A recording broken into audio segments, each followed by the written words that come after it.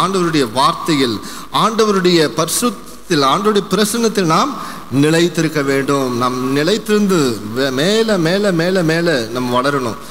இயேசு கிறிஸ்துவை குறித்து லூக்காவிலே நாம் பார்க்கிறோம்.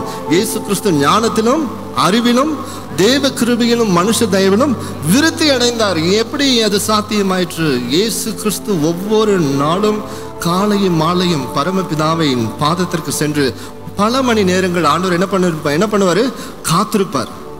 ஆண்டவருடைய தேவனே நாளைக்கு நான் என்னப்பா செய்யணும்? உங்க சித்தம் என்ன செய்யணும்னு ஆண்டவர் கேட்டபடியினால் தேவாதி தேவன் இயேசு கிறிஸ்து ஆண்டவர் பரமபிதா அவருக்கு என்ன மிஷனை வச்சாரோ அதை நிறைவேற்றி முடித்தார். சிலுவையின் மரண பரியந்தம் அவர் தம்மை தம்மை தாழ்த்தும்படி கர்த்தர் கிருபை செய்தார்.